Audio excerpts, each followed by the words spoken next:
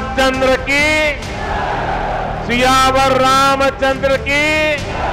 सियावर रामचंद्र की। भारत माता की। भारत माता की। भारत माता की।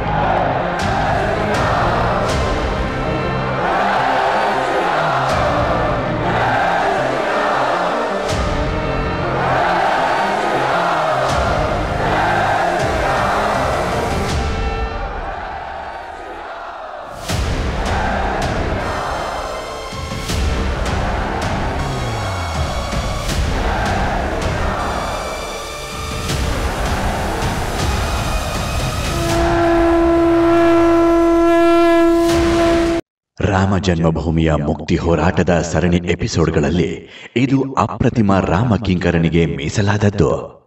ಒಬ್ಬ ಸಾಮಾನ್ಯ ಕರಸೇವಕನಾಗಿದ್ದ, ಸಂಘದ ಅಪ್ರತಿಮ ಕಾರ್ಯಕರ್ತನಾಗಿದ್ದ ಮೇರು ವ್ಯಕ್ತಿಯ ಶಪಥದ ಕುರಿತಾದದ್ದು. ಸುದೀರ್ಘ ಮೂರು ದಶಕಗಳ ಮಹಾನ್ ತಪಸ್ಸಿನ ಬಗೆಗಿನ ಈ ಎಪಿಸೋಡ್ ರಾಮನಂತೆ ಮಾನವ ಶಕ್ತಿಯ ಮೇರು ಸಾಮರ್ಥ್ಯದ ಕುರಿತಾದದ್ದು.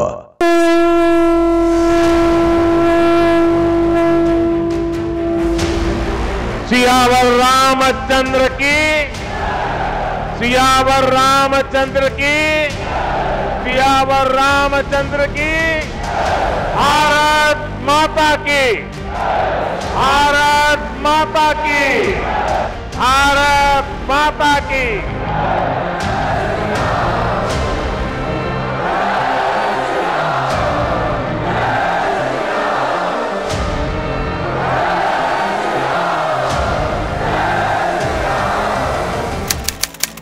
ಜುಲೈ ಮೂವತ್ತೊಂದು, ಎರಡು ಸಾವಿರದ ಮೂರು.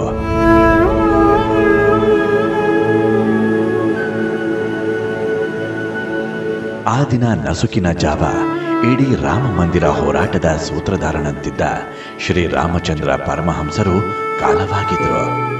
ಸರಯು ನದಿಯ ದಡದಲ್ಲಿ ಪರಮಹಂಸರ ಚಿತೆ ಉರಿಯುತ್ತಿತ್ತು. ದೇಶದ ಪ್ರಧಾನಿಯಾಗಿದ್ದ ವಾಜಪೇಯಿ, ರಾಜ್ಯಪಾಲರು, ಮುಖ್ಯಮಂತ್ರಿಗಳು ದೇಶದುದ್ದಗಲದ ಸಾಧು ಸಂತರು ಉಪಸ್ಥಿತರಿದ್ದರು ಆಗ ವಾಜಪೇಯಿಯವರೊಂದು ಭಾಷಣ ಮಾಡಿದ್ರು ನಾನು ಇರುತ್ತೀನೋ ಇಲ್ಲವೋ ಆದರೆ ನಮ್ಮ ಪಕ್ಷದಲ್ಲೇ ಒಬ್ಬ ಮಹಾಪುರುಷ ಬರುತ್ತಾರೆ ಅವರೇ ರಾಮ ಜನ್ಮಭೂಮಿಯ ಮಂದಿರವನ್ನು ನಿರ್ಮಿಸುತ್ತಾರೆ ಎಂದು अटल बिहारी वाजपेयी का ये पहला भाषण था सरजू के पावन तट पर परमहंस की जलती हुई चिता के बीच उन्होंने कहा था मैं रहूं या न रहूं लेकिन हमारी ही पार्टी का एक महापुरुष आएगा जो राम जन्म मंदिर का निर्माण करेगा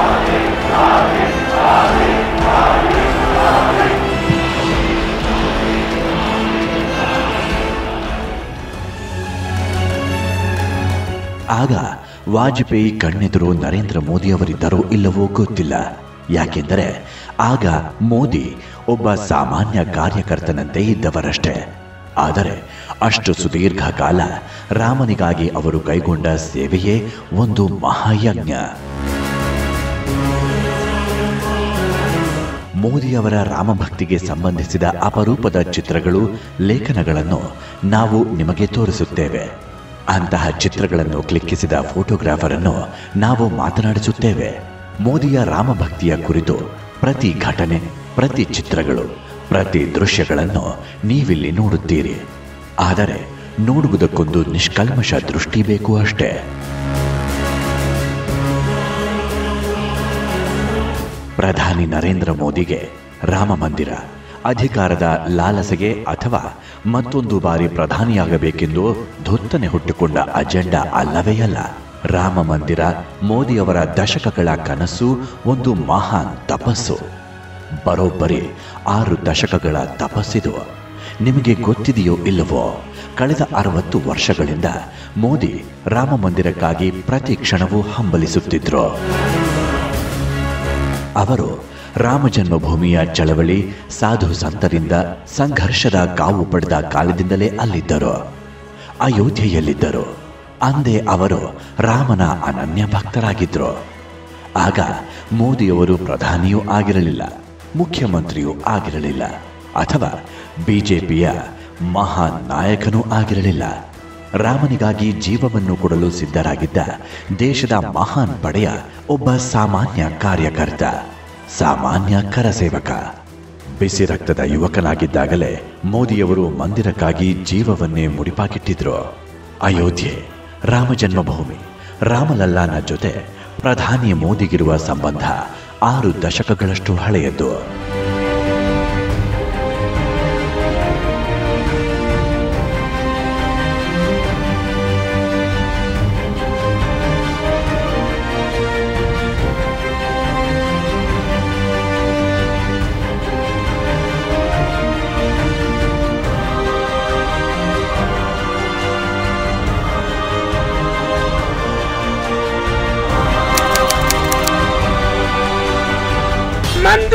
मंदिर बनाने से कोई सरकार या न्यायालय हमको रोक नहीं सकती नहीं सकती नहीं सकती ಪ್ರತಿವಾದಿ ಭಯಂಕರ ಇದೇ ಹೆಸರಿನಲ್ಲಿ ಖ್ಯಾತರಾದ ರಾಮ ಮಂದಿರದ ಚಳವಳಿಯ ಸೂತ್ರಧಾರ ಮಹಾಂತ ರಾಮಚಂದ್ರ ಪರಮಹಂಸರ ಮಾತಿದು ಸಾವಿರದ ಒಂಬೈನೂರ ಎಪ್ಪತ್ತರಿಂದ ತೊಡಗಿ ಎರಡ್ ಸಾವಿರದ ಇಪ್ಪತ್ನಾಲ್ಕರವರೆಗಿನ ರಾಮಭಕ್ತ ಮೋದಿಯ ನೀವೆಂದು ಕೇಳಿರದ ಕಥೆಯನ್ನು ಕೇಳಲು ನಾವು ದೇಶದ ಹಳ್ಳಿ ಹಳ್ಳಿಗಳಲ್ಲಿ ನಡೆಯುತ್ತಿದ್ದ ರಾಷ್ಟ್ರೀಯ ಸ್ವಯಂ ಸೇವಾ ಸಂಘದ ಶಾಖೆಯತ್ತ ನೋಡಬೇಕು. ಆಗ ಅವರು ಒಬ್ಬ ಸಾಮಾನ್ಯ ಸ್ವಯಂ ಸೇವಕರಾಗಿದ್ರು. ರಾಮಭಕ್ತ ಮೋದಿ ಅಯೋಧ್ಯೆಗೆ ಮೊದಲ ಬಾರಿ ಹೋದದ್ದು ಸಾವಿರದ ಒಂಬೈನೂರ ಎಪ್ಪತ್ತರಲ್ಲಿ, ಅಂದರೆ ಐವತ್ಮೂರು ವರ್ಷಗಳ ಹಿಂದೆ. ಸಾವಿರದ ಒಂಬೈನೂರ ಎಪ್ಪತ್ತರಿಂದ ಅವರು ರಾಮ ಮಂದಿರದ ಚಳವಳಿಯ ಹೆದ್ದರಿಯಲ್ಲಿ ಸೇರಿಕೊಂಡಿದ್ರು. ಆಗ ದೇಶಾದ್ಯಂತ ಶಿಲಾಪೂಜನ, ಜ್ಯೋತಿ ಯಾತ್ರೆ ಇತ್ಯಾದಿ ಮೂಲಕ ರಾಷ್ಟ್ರೀಯ ಸ್ವಯಂ ಸೇವಕ ಸಂಘವು ರಾಮ ಮಂದಿರ ಚಳವಳಿಯನ್ನು ಜನರ ಮನಸ್ಸಲ್ಲಿ ನೆಲೆಯೂರಿಸಲು ಪ್ರಯತ್ನಿಸುತ್ತಿದ್ದ ಹೊತ್ತು, ಹಳ್ಳಿ ಹಳ್ಳಿಗಳಿಗೆ ಕಾರ್ಯಕರ್ತರು ತೆರಳಿ ಜನರಲ್ಲಿ ರಾಮನ ಸ್ಮೃತಿಯನ್ನು ಬಡಿದೆಚ್ಚರಿಸುತ್ತಿದ್ದ ಸಮಯ. ಆಗಲೇ ನರೇಂದ್ರ ಮೋದಿ ಗುಜರಾತ್ನ ಹಳ್ಳಿ ಹಳ್ಳಿಗಳಿಗೆ ಸುತ್ತಿದ್ರು.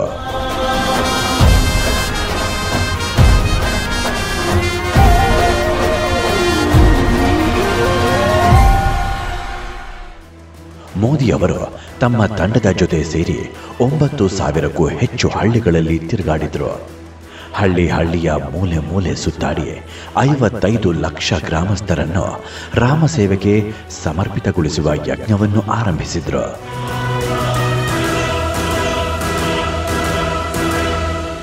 संघ की जिम्मेदारी माननीय नरेंद्र भाई की थी तो पूरा संघ परिवार के सब कार्यकर्ता मिलके ये आंदोलन में सहभाग करते थे तो उनका प्रमुख यह था कि गुजरात के प्रत्येक गांव में और समाज के विविध वर्ग को साथ लाने के लिए अलग अलग संप्रदाय के साधु संतों को मिलना स- सभी संप्रदाय के प्रमुख लोगों को मिलना सभी समाज के वडीलों को मिलना ऐसा एक अभियान चलाया था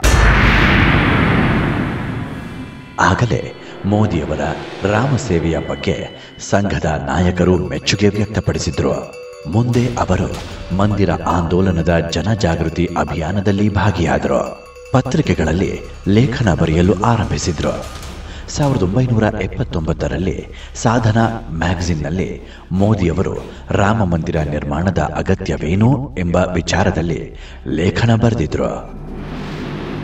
ಆ ಲೇಖನದಲ್ಲಿ ಮೋದಿಯವರು ಬರೆದಿದ್ರು, ಇಂದು ರಾಮಶಿಲೆ ರಾಷ್ಟ್ರೀಯ ಚೈತನ್ಯದ ಪ್ರತೀಕವಾಗಿದೆ. ಇದನ್ನು ವಿರೋಧಿಸುವವರಿಗೆ ನುಂಗಲಾರದ ತುತ್ತಾಗಿ ಪರಿಣಮಿಸಿದೆ. ರಾಮಶಿಲೆಯ ಮಹತ್ವ ರಾಮ ಮಂದಿರ ನಿರ್ಮಾಣಕ್ಕಿಂತಲೂ ಮಿಗಿಲಾದದ್ದು. ಇದು ಲಕ್ಷಾಂತರ ಜನರ ಹೃದಯಗಳಲ್ಲಿ ವಿಶ್ವಾಸವನ್ನು ಮೂಡಿಸಿದೆ. ಭವಿಷ್ಯದ ಭಾರತ, ಅಖಂಡ ಭಾರತದ ನಿರ್ಮಾಣಕ್ಕಾಗಿ ಆ ಪ್ರತೀಕಗಳ ಪುನರ್ ನಿರ್ಮಾಣದ ಅನಿವಾರ್ಯತೆ ಇದೆ ಈ ಪ್ರತೀಕಗಳು ಹೃದಯಗಳನ್ನು ಬೆಸೆಯುತ್ತವೆಯೇ ವಿನಃ ಬೇರ್ಪಡಿಸುವುದಿಲ್ಲ ಎಂದು ಗೋಸ್ವಾಮಿ ತುಳಸಿದಾಸರ ಮಾತುಗಳನ್ನು ಉಲ್ಲೇಖಿಸಿ ಲೇಖನಗಳನ್ನು ಬರೆಯುತ್ತಿದ್ದರು. ರಾಮ ಮಂದಿರ ಜೋ ಗಾಂವ್ಕೆ ಕೆ ಹೈ ಭಾವನಾ ಕೋ देश के राम मंदिर तक जोड़ने का काम यदि किसी ने किया तो नरेंद्र भाई ने किया ರಾಮ ಮಂದಿರದ ನಿರ್ಮಾಣ ಪ್ರಧಾನಿ ಮೋದಿಗೆ ಯಾವುದೇ ರಾಜಕೀಯದ ಅಜೆಂಡವಾಗಿರಲಿಲ್ಲ ಅವರು ತಮ್ಮ ಕಾರ್ಯನಿಷ್ಠೆಯಿಂದ ಅದನ್ನು ಚರಿತ್ರಾರ್ಹವಾಗಿಸಿದರು ಅವರಿಗೆ ರಾಮ ಮಂದಿರ ನಿರ್ಮಾಣ ಕೇವಲ ರಾಮನ ಸೇವೆಯಾಗಿತ್ತು ಅಷ್ಟೇ ಸಾವಿರದ ಒಂಬೈನೂರ ಎಂಬತ್ತೊಂಬತ್ತರಲ್ಲಿ ರಾಮಶಿಲಾ ಪೂಜನ್ನ ಹೊತ್ತಿನ ಈ ದೃಶ್ಯವನ್ನು ನೋಡಿರಿ ಇದರಲ್ಲಿ ಮೋದಿಯವರು ಗುಜರಾತ್ನ ಮೂಲೆ ಮೂಲೆ ಸುತ್ತಾಡಿ ಗ್ರಾಮಸ್ಥರೊಂದಿಗೆ ಪ್ರಭು ಶ್ರೀರಾಮನ ಮಂದಿರ ನಿರ್ಮಾಣಕ್ಕಾಗಿ ಇಟ್ಟಿಗೆಗಳನ್ನು ಒಟ್ಟು ಮಾಡುತ್ತಿದ್ರು तन समर्पित मन समर्पित और यह जीवन समर्पित चाहते हैं देश की धरती तुझे कुछ और भी दूं तो ऐसी ही शपथ तो लेते रहे आदरणीय नरेंद्र भाई मोदी ಎಲ್ಲ ರೀತಿಯಲ್ಲೂ ಇಡೀ ದೇಶ ರಾಮನತ್ತ ಅಗಾಧ ಶ್ರದ್ಧೆಯನ್ನು ತುಂಬಿಕೊಳ್ಳುವಂತೆ ಮಾಡುವ ಅಭಿಯಾನವನ್ನೇ ನಡೆಸುತ್ತಿದ್ರು ನರೇಂದ್ರ ಮೋದಿಯವರು ತಮ್ಮ ಲೇಖನಗಳಿಂದ, ತಮ್ಮ ಭಾಷಣಗಳಿಂದ, ಸುತ್ತಾಟಗಳಿಂದ ಯುವ ಪೀಳಿಗೆಯಲ್ಲಿ ಹೊಸ ಹುಮ್ಮಸ್ಸು, ಜೋಶ್ ತುಂಬುತ್ತಿದ್ರು. ಇದೇ ಹೊತ್ತಿನಲ್ಲಿ ಮೋದಿಯವರ ಭಾಷಣ ಭಾರಿ ಪ್ರಸಿದ್ಧಿಗೆ ಬಂದದ್ದು. ಮೂಲತಃ ಗುಜರಾತಿನವರಾದರೂ ನಾಲ್ಕರಿಂದ ಐದು ದಶಕಗಳ ಹಿಂದೆಯೇ ಚೆನ್ನಾಗಿ ಹಿಂದಿಯಲ್ಲಿ ಭಾಷಣ ಮಾಡ್ತಿದ್ರು. ಅಂದು ರಾಮ ಮಂದಿರದ ಚಳವಳಿಯ ಕುರಿತಾದ ಮೋದಿಯವರ ಭಾಷಣದ ಸಾವಿರಾರು ಕ್ಯಾಸೆಟ್ಗಳನ್ನು ಮಾಡಿ ಹಂಚಲಾಗಿತ್ತು. ಜನ್ಮಭೂಮಿ ಮಂದಿರ್ ಪರಜ್ ರಾಮ ಜನ್ಮಭೂಮಿ ಬನ್ಸೆ ರಾಮ ಜನ್ಮ ಪರಜ್ ರಾಮ ಜನ್ಮಭೂಮಿ ಮಂದಿರ್ ದುನಿಯಾ ಕೋಯ್ ತಾತಾ. ರಾಮ ಮಂದಿರ್ ಬಂತಾಟ್ ಕಬಿನೇಶ್ राम जन्मभूमि को लेकर उनके भाषण होते थे उस समय। तो वो इतने रिसर्च बेस्ड भाषण होते थे कि कहाँ से वो सब तथ्य लेकर आते थे, कहाँ से वो सारा मटेरियल लाते होंगे। पर इतना ऑथेंटिक मटेरियल वो सारा मटेरियल जब उनके भाषण में होता था और किस प्रकार से तुष्टिकरण की राजनीति से देश का नुकसान हो रहा है और किस प्रकार से सांस्कृतिक राष्ट्रवाद का उत्थान इस देश के लिए जरूरी है तो रामजन्मभूमि आंदोलन सास- सांस्कृतिक राष्ट्रवाद का उत्थान के रूप में उन्होंने ल- कार्यकर्ताओं के मन में अपने भाषणों से उतारा ಹೀಗೆ ನರೇಂದ್ರ ಮೋದಿ ಅವರು ರಾಮ ಸೇವೆಯ ಯಜ್ಞದಲ್ಲಿ ಸಮಿಧೆಯಾಗಿ ಉರಿಯುತ್ತಿದ್ರು ಇದೇ ಹೊತ್ತಿನಲ್ಲಿ ಇನ್ನೊಂದು ಮಹತ್ವದ ಘಟನೆ ನಡೆಯಿತು. ಇಪ್ಪತ್ತೈದು ಸೆಪ್ಟೆಂಬರ್ ಸಾವಿರದ ಒಂಬೈನೂರ ತೊಂಬತ್ತರ ದಿನ ಸೋಮನಾಥದಿಂದ ಅಯೋಧ್ಯೆಯವರೆಗೆ ರಥಯಾತ್ರೆ ನಡೆಯಿತು. ಲಾಲ್ ಕೃಷ್ಣ ಅಡ್ವಾಣಿಯವರ ರಥದ ಸಾರಥಿಯಾದರು ಮೋದಿ. ಆ ರಥಯಾತ್ರೆ ಗುಜರಾತ್ನ ಆರ್ನೂರು ಗ್ರಾಮಗಳಲ್ಲಿ ಸಂಚರಿಸಿತ್ತು.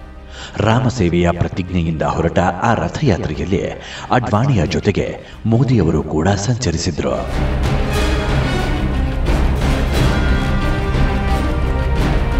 सोमनाथ से लेकर के अयोध्या तक जाते समय कोई भी स्थल ऐसा न होना चाहिए कोई भी डिस्ट्रिक्ट ऐसा न होना चाहिए कि जहाँ से लोग आकर के उनके दर्शन न कर सके उनको सांबा उनका आवाज न सुन सके या तो जो वातावरण बनाना है वो न बन पाए ऐसा न हो ಅದು ನವರಾತ್ರಿ ಹಬ್ಬದ ಸಮಯವಾಗಿತ್ತು ಮೋದಿಯವರು ಆಗಲೂ ವ್ರತನಿಷ್ಠರಾಗಿದ್ರು ಕೇವಲ ನೀರು ಬಿಟ್ಟು ಬೇರೇನನ್ನೂ ಸೇವಿಸದ ರಥಯಾತ್ರೆಯನ್ನು ಯಶಸ್ವಿಗೊಳಿಸಲು ಶ್ರಮಿಸುತ್ತಿದ್ರು. ಮೋದಿಯವರು ರಾಮಸೇವೆಗೆ ಕಟಿಬದ್ಧರಾಗಿದ್ರು. ಒಂದು ಸಲ ಅವರ ಈ ನಿಷ್ಠೆಯನ್ನ ಕಂಡು ಲಾಲ್ ಕೃಷ್ಣ ಅಡ್ವಾಣಿಯವರ ಪತ್ನಿ ಕಮಲ ಅಡ್ವಾಣಿಯವರು ಭಾವುಕರಾಗಿ ಸ್ವಲ್ಪ ಹೊತ್ತು ವಿಶ್ರಮಿಸುವಂತೆ ಹೇಳಿದ್ರು. ಆದರೆ ಅದಕ್ಕೆ ಮೋದಿಯವರ ಉತ್ತರ ಹೀಗಿತ್ತು. ಇದೇ ಗಾಢವಾದ ನಿಷ್ಠೆಯೇ ನನ್ನ ನಿಜವಾದ ತಾಕತ್ತು. ಇದು ನನ್ನ ನಿಜವಾದ ಜೀವನವಾಗಿದೆ ಇದರಿಂದ ನನಗೆ ಸಂತೋಷವಿದೆ ಎಂದು प्रतिज्ञा की बात तो मालूम थी लेकिन वो इस रूप में लौटेंगे कि देश के प्रधानमंत्री हैं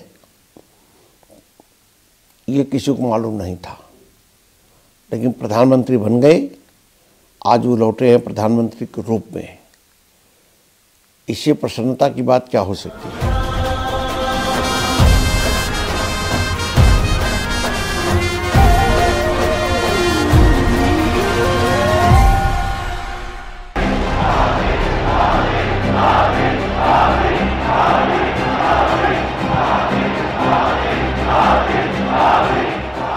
ರಾಮಸೇನೆಯಲ್ಲಿ ಪ್ರಧಾನಿ ಮೋದಿಗೆ ಎಷ್ಟು ಆನಂದವಾಗುತ್ತಿತ್ತು ಎಂಬುದರ ಒಂದು ಝಲಕ್ ಈ ಚಿತ್ರದಲ್ಲಿ ಕಾಣಿಸುತ್ತದೆ.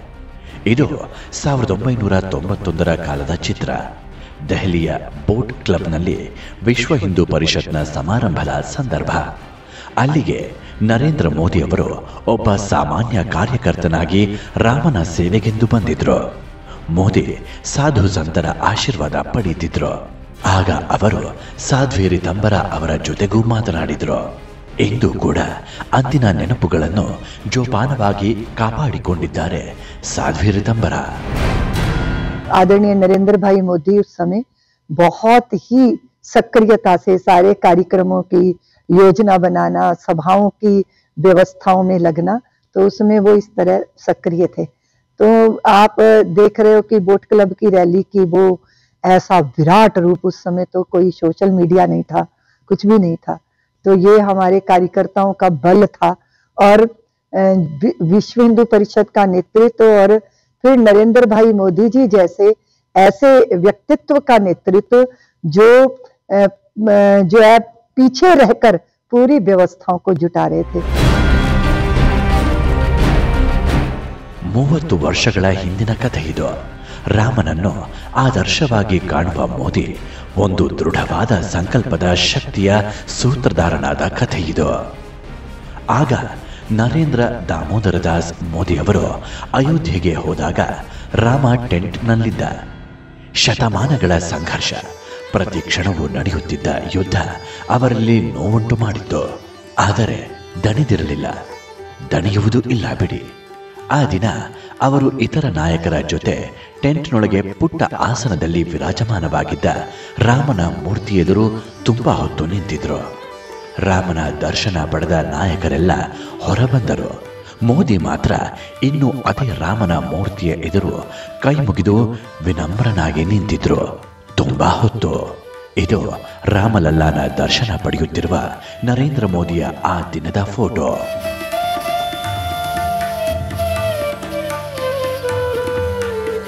ಆಗ ಮೋದಿಯವರ ಮನಸ್ಸಲ್ಲಿ ರೋಷದ ಕಟ್ಟೆಯೊಡೆದಿತ್ತು ಆ ರೋಷ ಹೊರಗೆ ತೋರುತ್ತಿರಲಿಲ್ಲ. ಹೃದಯದಲ್ಲಿ ವಿರಾಜಮಾನವಾಗಿದ್ದ ರಾಮ ತನ್ನದೇ ಜನ್ಮಭೂಮಿಯಲ್ಲಿ ಟೆಂಟ್ನಲ್ಲಿದ್ದುದು ಅವರನ್ನು ಇನ್ನಷ್ಟು ದುಃಖಕ್ಕೆ ಕಾರಣವಾಗಿಸಿತ್ತು. ಆಗಲೇ ಅವರೊಂದು ಶಪಥಗೈದದ್ದು ಓ ರಾಮ ರಾಜೀವಲೋಚನ ನನ್ನ ಹೃದಯ ಸಾಮ್ರಾಟ, ಭವ್ಯ ಭಾರತದ ಪರಮ ಆದರ್ಶಗಳ ಸಾಕಾರ ಮೂರ್ತಿ. ನಿನ್ನನ್ನು ಇನ್ನು ಭವ್ಯ ಮಂದಿರದಲ್ಲಿ ನೋಡುವ ಹಾದಿ ಸುಗಮವಾಗದೆ ಇಲ್ಲಿಗೆ ಎಂದೂ ಕಾಲಿಡಲಾರೆ ಅಂತ. ಮಂದಿರ ನಿರ್ಮಾಣದ ಹಾದಿ ಸುಗಮವಾದಾಗಲಷ್ಟೇ ನಾನು ಮತ್ತೆ ಅಯೋಧ್ಯೆಗೆ ಕಾಲಿಡುತ್ತೇನೆ ಎಂದು ನರೇಂದ್ರ ಮೋದಿಯವರ ಶಪಥದ ತಾಕತ್ತು ಅಂದರೆ ಅದೇ ದಶಕಗಳ ವಿಚಾರಣೆಯ ಬಳಿಕ ರಾಮನ ಆಶೀರ್ವಾದದಿಂದ ಆ ಹಾದಿ ಸುಗಮವಾದಾಗ ನರೇಂದ್ರ ಮೋದಿಯವರು ಇಡೀ ದೇಶಕ್ಕೆ ಅದೇ ತನ್ನ ರಾಮನ ಚರಣಗಳೆಂದು ಕೈಮುಗಿದು ನಮಸ್ಕರಿಸಿದ್ರು. ಮೂರು ದಶಕಗಳ ಕಾಯುವಿಕೆಯ ಬಳಿಕವೇ ನರೇಂದ್ರ ಮೋದಿಯವರು ಅಯೋಧ್ಯೆಗೆ ತೆರಳಿದ್ದು. ಹಾಗೆ ಹೋದವರೇ ಅವರು ಭವ್ಯ ರಾಮ ಮಂದಿರಕ್ಕೆ ಶಿಲಾನ್ಯಾಸ ಮಾಡಿದರು. ಇದೇ ರಾಮಭಕ್ತ ಮೋದಿ ಜನವರಿ ಇಪ್ಪತ್ತೆರಡರಂದು ರಾಮನ ಪ್ರಾಣ ಪ್ರತಿಷ್ಠೆಯ ಪುಣ್ಯ ಕಾರ್ಯದಲ್ಲೂ ಭಾಗಿಯಾಗುವರು. ಆಗ ಮತ್ತೊಮ್ಮೆ ಶ್ರೀರಾಮ ಅವತ್ಪುರಿಗೆ ಆಗಮಿಸುವುದನ್ನು ಇಡೀ ಜಗತ್ತು ಎದ್ದು ನಿಂತು ನೋಡಲಿದೆ. ಇತಿಹಾಸ ಆ ಶುಭ ಕ್ಷಣಗಳನ್ನು ಚಿನ್ನದ ಅಕ್ಷರಗಳಿಂದ ದಾಖಲಿಸಲಿದೆ. ಯಾಕೆಂದರೆ ಐದು ಶತಮಾನಗಳ ಕಾಯುವಿಕೆಯ ಬಳಿಕ ಈ ಶುಭ ಮುಹೂರ್ತ ಆಗಮಿಸಿದೆ. ಪ್ರಧಾನಿ ಮೋದಿಯವರು ರಾಮಲಲ್ಲಾನ ಎದುರು ಕೈಮುಗಿದು ನಿಂತ ಮೂವತ್ತು ವರ್ಷಗಳ ಹಿಂದಿನ ಈ ಭಾವಚಿತ್ರವನ್ನು ಕ್ಲಿಕ್ಕಿಸಿದವರು ಫೋಟೋಗ್ರಾಫರ್ ಮಹೇಂದ್ರ ತ್ರಿಪಾಠಿ. ಅವರಿಗೆ ಈ ಫೋಟೋ ಕ್ಲಿಕ್ಕಿಸುವಾಗ ಸಂದೇಹ ಬಂದಿತ್ತಂತೆ. ಯಾಕೆ ಈ ಮನುಷ್ಯ ಇಷ್ಟು ಹೊತ್ತಿನಿಂದ ರಾಮನೆದುರೆ ನಿಂತುಕೊಂಡಿದ್ದಾರೆ ಅಂತ ಮೋದಿ ರಾಮಲಲ್ಲಾನ ಭಾವುಕ ದರ್ಶನದ ಜೊತೆಗಿನ ಈ ಕಥೆಯನ್ನು ನ್ಯೂಸ್ ಏಟೀನ್ ಜೊತೆ ಹಂಚಿಕೊಂಡಿದ್ದಾರೆ ತ್ರಿಪಾಠಿಯವರು क्या देख रहे जी, थे बहुत देर तक मैंने देखा कि नरेंद्र मोदी जी कुछ ज़्यादा ही भावुक दिख रहे थे और जो है वो रामलला के जिसे लग रहा कोई वार्ता उनकी हो रही हो। तो मैं उनके तरफ़ भी देखने लगा कि सब लोग दर्शन करके तुरंत चले जाते हैं ये रुके हुए हैं। तो मेरे मन में कुछ आया कि इनसे कुछ सवाल करें कि क्या बातें आपकी रामलला से हो रही हैं किया आपने सवाल फिर मैंने सवाल कर ही लिया मैंने पूछा कि अ, रामलला जी से आप बहुत देर तक टकटकी लगाए देख रहे थे मतलब कुछ खास आपने कुछ बातें की है या कोई संकल्प लिया है तो हम मुस्कुराए उन्होंने कहा ये आपको नहीं बताऊंगा फिर हमने कहा कि अ, ना बताइए फिर अ, बाहर आए तो फिर हमने और तस्वीर उनकी खींची हाथ में प्रसाद लिए हुए हैं डिब्बे पे खड़े हैं ಪ್ರಧಾನಿ ನರೇಂದ್ರ ಮೋದಿ ಅವರು ರಾಮ ಸಂಕಲ್ಪವನ್ನಷ್ಟೇ ಪೂರ್ಣಗೊಳಿಸಲಿಲ್ಲ ರಾಮನ ನಗರದ ಗಾಥೆಯನ್ನ ಬದಲಿಸಿದ್ರು. ಈಗ ಅಯೋಧ್ಯೆ, ಅದರ ದಿವ್ಯ ಭವ್ಯ ಸ್ವರೂಪದಲ್ಲಿ ಆಧುನಿಕವಾದ ಎಲ್ಲ ಸೌಕರ್ಯಗಳೊಂದಿಗೆ ರಾರಾಜಿಸುತ್ತಿದೆ. ಏರ್ಪೋರ್ಟ್, ಅತ್ಯಾಧುನಿಕ ರೈಲ್ವೆ ನಿಲ್ದಾಣ, ಸರಯು ನದಿಯ ಸುಂದರ ತೀರದಿಂದ ಹಿಡಿದು ಅಯೋಧ್ಯೆಯ ಶ್ರೇಷ್ಠ ವೈಭವ ಎದ್ದು ಕಾಣಿಸುತ್ತಿದೆ.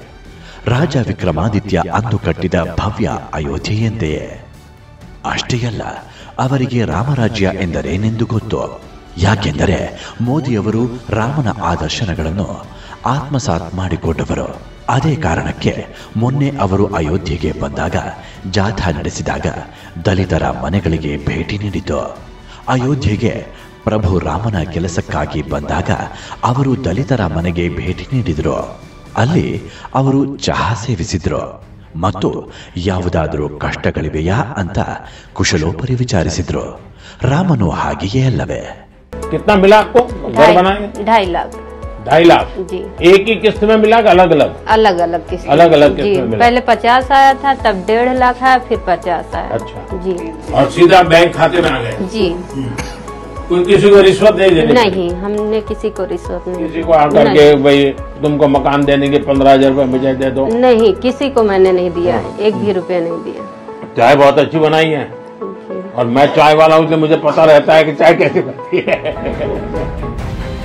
ನರೇಂದ್ರ ಮೋದಿ ಅವರು ರಾಮ ಸಂಕಲ್ಪ ತೊಟ್ಟಾಗ ಪ್ರಧಾನಿಯೂ ಆಗಿರಲಿಲ್ಲ ಯಾವುದೇ ಹುದ್ದೆಯಲ್ಲಿಯೂ ಇರಲಿಲ್ಲ ಮುಂದೊಂದು ದಿನ ತಾನು ಈ ದೇಶದ ಪ್ರಧಾನಿಯಾಗುತ್ತೇನೆಂದು ಕನಸಲ್ಲೂ ಅಂದುಕೊಂಡಿದ್ದರೋ ಇಲ್ಲವೋ ತಮ್ಮ ಪ್ರತಿಜ್ಞೆಯನ್ನು ಪೂರ್ಣಗೊಳಿಸಲು ಸಂಘರ್ಷದ ಒಂದು ಸುದೀರ್ಘ ಹಾದಿಯನ್ನು ತುಳಿದರು ಒಂದು ರೀತಿಯಲ್ಲಿ ಸಮಾಜ ಸೇವೆಯ ಜವಾಬ್ದಾರಿಯನ್ನು ನಿರ್ವಹಿಸಿದರು ಇನ್ನೊಂದು ಬಗೆಯಲ್ಲಿ ಪ್ರಭುವಿನ ಸೇವೆಗಾಗಿ ಜೀವನವನ್ನೇ ಸಮರ್ಪಿಸಿದರು.